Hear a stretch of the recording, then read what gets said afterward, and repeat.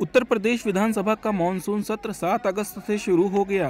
Monsoon सत्र शुरू होते ही विपक्ष ने जमकर हंगामा किया। इस दौरान समाजवादी पार्टी ने ज़ोर शोर से मणिपुर पर चर्चा की मांग उठाई, जिस पर इनकार करते हुए विधानसभा अध्यक्ष सतीश महाना ने कहा कि इस सदन में सिर्फ़ यूपी के मुद्दों पर चर्चा हो सकती है। इजाज़त नहीं मिलने पर समाजवादी पार्टी के विधायक वेल में आ गए। इस दौरान तंज कसते हुए अखिलेश यादव ने कहा कि मुख्यमंत्री योगी आदित्यनाथ मणिपुर पर बोलकर पूरे देश की आवाज़ बन जाएँगे। ये बहुत गंभीर बात है कि जिस तरीके से मणिपुर में घटना हुई और उस पर हम एक केवल निंदा प्रस्ताव नहीं पास कर सकते निंदा नहीं कर सकते उस घटना की। कितने ये देश के देश का सबसे बड़ा क्या? सबसे बड़ा प्रदेश है। अध्यक्ष महोदय देश के प्रधानमंत्री जी यहाँ से आते हैं।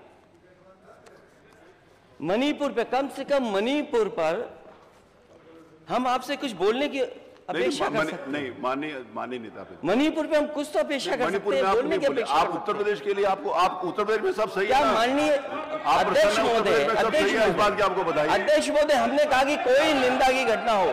कोई घटना हो आप निंदा करिए निंदा का प्रस्ताव करिए।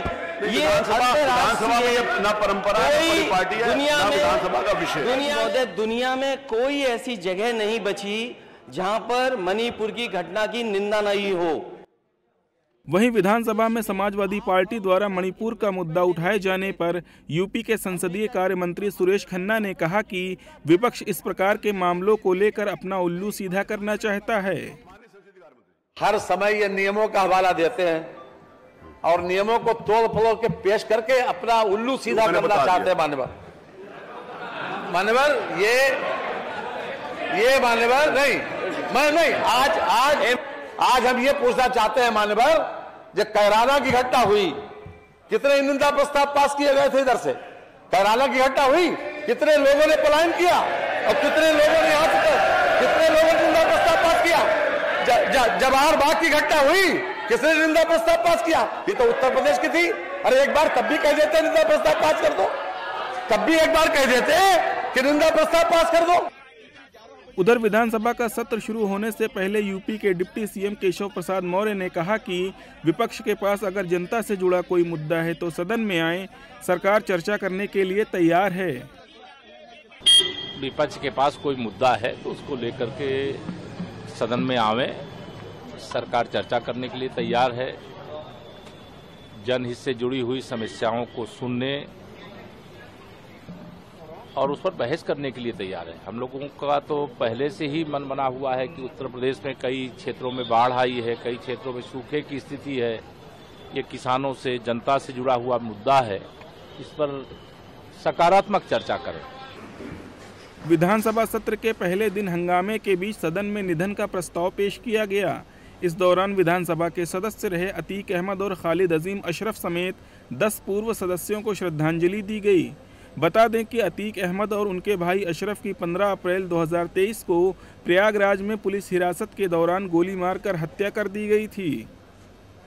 श्री खालिद अजीम उर्फ़ अशरफ का 15 अप्रैल 2023 को निधन हो गया। वो लगभग उनचास वर्ष के थे। श्री खालिद अहमद उर्फ़ अशरफ का जन्म तीन अप्रैल 1974 को जिला प्रयागराज, इलाहाबाद में हुआ था। उन्होंने स्नातक तक की शिक्षा ग्रहण की थी।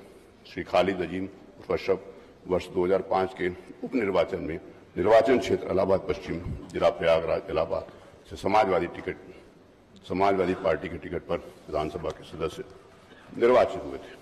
उत्तर प्रदेश विधानसभा के भूतपूर्व सदस्य श्री अतीक अहमद का 15 अप्रैल 2023 को निधन हो गया। वो लगभग इकसठ वर्ष के थे।